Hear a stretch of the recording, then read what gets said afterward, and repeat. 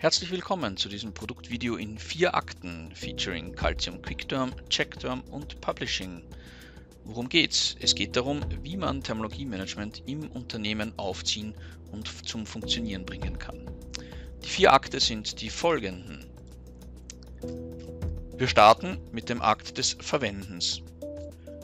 Wie kann man im Unternehmen Thermologie verteilen, und damit auch Wissen verteilen, weil Thermologie natürlich sehr viel mit Wissen zu tun hat und mit Wissensvermittlung.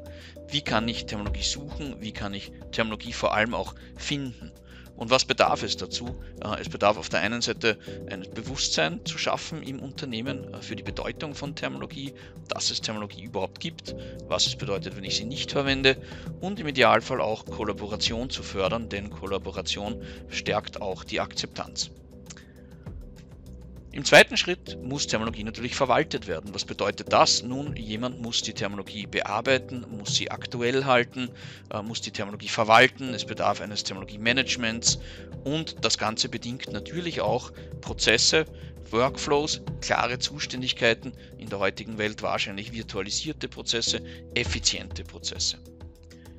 Der dritte Schritt ist dann natürlich die Einhaltung der Thermologie im Unternehmen. Das bedeutet eine Prüfung auf korrekt verwendete Terminologie bei der Erstellung des Textes und das natürlich in allen Sprachen, also in der Ausgangssprache, in der die Texte erstellt werden, direkt in den Editoren natürlich, aber auch in der Übersetzung. Was braucht man dafür? Nun, man braucht eine linguistische Prüfengine. Wieso, zeigen wir Ihnen dann im dritten Akt. Und im Idealfall auch integriert direkt in die Umgebungen, in denen die Autoren schreiben.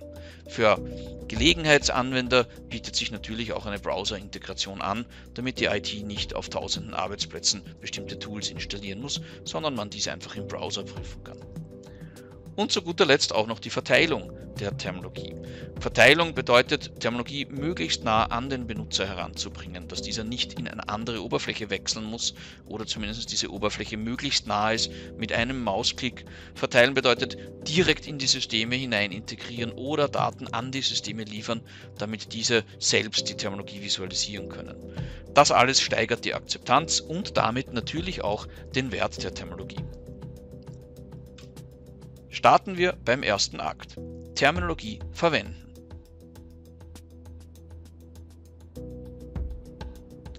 Was Sie hier sehen, ist eine Möglichkeit, wie Sie Ihren Benutzer auf Ihrer Termbank begrüßen können. Was uns sehr wichtig ist, wir möchten eine Schnittstelle liefern zum Benutzer, die nicht auf den ersten Blick abschreckend wirkt, sondern vielleicht sogar einladend wirkt. Da möchte ich ein bisschen herumforschen, da möchte ich mich damit beschäftigen. Das Ganze ist natürlich sehr stark anpassbar an die CI Ihres Unternehmens auch, damit man sich gleich wie zu Hause fühlt, als wäre das praktisch einfach nur eine Erweiterung des ganz normalen Intranets. Wir haben also hier alles anpassbar, natürlich so einen kleinen Willkommenstext. Äh, wir haben hier die Möglichkeit, so Einträge der Woche zum Beispiel zu schalten. Das machen unsere Terminologie-Teams auch sehr gerne. Man kann sich das vorstellen, so wie als Terminologie-Instagram-Account. Ich poste hier immer wieder Dinge, wo Leute vorbeikommen können und äh, auch kurz etwas lernen können. Äh, und zum Beispiel, weiß nicht, einmal im Monat einfach so aktiv in der Thermbank vorbeikommen, um mal zu schauen, was hat sich so alles getan. Weil, wie gesagt, Terminologie hat sehr viel mit Wissensvermittlung und Wissenserwerb auch auch zu tun. Man kann das einen Schritt weiter treiben auch noch. Wir haben die Möglichkeit hier zum Beispiel Terminologie-Quizzes zu schalten. Hier ein Beispiel, das uns freundlicherweise immer von der Firma KTM zur Verfügung gestellt wird, die sehr viel mit diesen Terminologie-Quizzen arbeiten. Und ich kann hier mit ein paar schlauen Fragen relativ schnell und spielerisch vermitteln, warum ist Terminologie wichtig. Jeder hat gedacht, er weiß, was MSC bedeutet, aber öp, Leider nein. Äh, genormt ist es nämlich etwas anderes. Ich kann hier natürlich dann auch erklären, warum das so ist und was das genau ist etc. Äh, und habe damit sofort wieder etwas sehr, sehr Praktisches für eigentlich meinen Berufsalltag gelernt. Äh, oder auch so etwas, was relativ einfach ist, aber soll ja auch ein bisschen motivierend sein, so ein Spiel. Oder auch so eine Frage, die nicht direkt etwas mit Terminologie zu tun hat, aber mit Wissenserwerb. So etwas muss man als KTM-Mitarbeiter einfach wissen. Und natürlich, es war 1978 mit 10.000 Kilometern äh, und ein bisschen noch Zusatzinformation ähm, in Eigeninteresse natürlich ein bisschen werben, aber sowas muss man einfach wissen, sowas interessiert. Oder auch zum Beispiel so eine ganz uneigennützige Frage aus der technischen Doku. Brauchen wir überhaupt Bedienungsanleitungen? Ich glaube nein. Ups, doch, wir brauchen natürlich schon Bedienungsanleitungen. Und dann kann ich auch noch meine Ergebnisse absenden und vielleicht an einer Verlosung teilnehmen. Also man sieht, sehr spielerisch, sehr niederschwellig, äh, genauso möchten wir Terminologie eben vermitteln. Selbstverständlich kann ich auch einfach suchen, also wenn ich jetzt beispielsweise einen ganz bestimmten Motor oder äh, das, den, den, Modellnamen vielleicht von einem ganz bestimmten Motor suche, dann steige ich vielleicht irgendwo ein. Ich weiß leider nicht genau, wonach ich suchen soll, weil sonst würde ich ja nicht suchen. Ähm, ich steige mal ein beim Zweitaktmotor, gebe den also hier einfach ein äh, und schaue dann, äh, was er dazu findet. Äh, und ich sehe dann beispielsweise sehr interessant gleich mal, okay, Zweitaktmotor ist eigentlich gar nicht erlaubt, soll so geschrieben werden. Ich erkenne hier auch, was das überhaupt ist. Ja, es gibt ein bisschen eine Definition, äh, es gibt ein kleines Video dazu, was mir das Ganze erklärt. Äh, ich kann das auch anders darstellen, ich mache da mal ein bisschen mehr Platz. Äh, ich könnte das zum Beispiel auch so darstellen, das ist ein bisschen mehr benennungsorientiert, wie das vielleicht ein Gelegenheitsbenutzer eher erwarten würde, als dieses klassische konzeptorientierte untereinander sozusagen. Aber beides hat seine Vor- und Nachteile. Man kann ja auch ganz, ganz einfache Style-Sheets hinterlegen, wo es nur darum geht, was ist denn erlaubt, was ist nicht erlaubt. Ganz wesentlich in unserem System sind auch die Concept Maps, das heißt äh, die Möglichkeit, Begriffe miteinander zu verlinken und in ein Begriffssystem einzufügen, weil mit diesen Concept Maps kann der Benutzer sich jetzt relativ leicht das gesamte Wissensumfeld auch erschließen.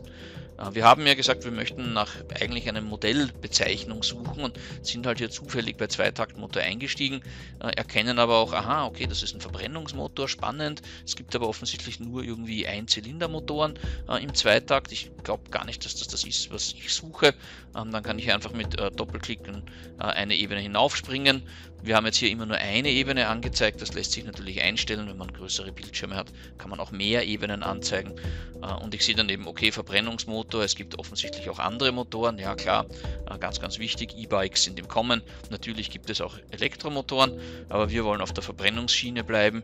Äh, Viertaktmotor scheint mir jetzt da hier das Richtige und ich glaube tatsächlich, das, was ich suche, ist ein Einzylinder Viertaktmotor äh, und dann bin ich eben bei der Modellnummer LC4 angelangt. Danach habe ich eigentlich gesucht. Sehr, sehr praktisch, um sich Wissen zu erschließen, um zu lernen und um einfach zu erkennen, okay, wie hängen diese Begrifflichkeiten miteinander zusammen zusammen, besonders für den Gelegenheitsbenutzer etwas ganz, ganz Wichtiges, eben für den Wissenserwerb. Einen kleinen Schritt weiter geht das noch über die Taxonomie, also wenn ich überhaupt nicht weiß, wonach ich suche, ähm, dann kann ich das hier auch so ein bisschen vordefinieren und kann sagen, okay, was findest du denn eigentlich alles in unserer Termbank? Hier nur eine ganz, ganz kleine Taxonomie. Äh, was gibt es denn für, bei uns für Produkte? Das ist jetzt aus einer anderen Demo-Termbank klarerweise. Äh, bei uns kriegt man also Tische, Türen oder so Befestigungselemente und dazu zählen Schrauben, Kleber und Nägel. Äh, und ich kann jetzt sagen, okay, mich interessieren konkret Schrauben. Äh, was gibt es denn dazu alles? Und dann erkenne ich, aha, okay, ähm, es gibt also hier eine Schraube äh, mit verschiedenen verbotenen oder auch ja, nicht immer erlaubten Benennungen. Äh, was gibt es da für Arten von Schrauben? Oder äh, ich kann dann auch auf die Schraube hinauf navigieren beispielsweise und erkenne, okay, woraus besteht denn überhaupt eine Schraube? Und auch das wieder eine Kombination aus Concept Map, Navigieren innerhalb des Begriffssystems, Lernen, Verstehen und eben dem Vordefinieren durch die Taxonomie. Ähm, zu guter Letzt auch noch äh, Interaktivität und Kollaboration, also gerade wenn ich zum Beispiel bei der Augenschraube kurz äh, bleibe. Danke. Ähm, zum Beispiel die Möglichkeit, hier auch Feedback abzusenden. Also ich kann mich an das Terminologie-Team wenden und kann beispielsweise sagen, oh, beim Englischen fehlt aber das Bild. Kann also hier sagen, Feedback senden.